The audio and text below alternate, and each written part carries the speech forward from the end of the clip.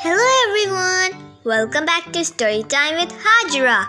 Today we are reading my very first book of Numbers by Eric Carle. So let's get started. 1. One pineapple. 2. Two bananas. 3 three apples.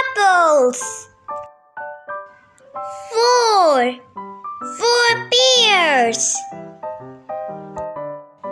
Five, five oranges. Six, six lemons. Seven, seven strawberries. Eight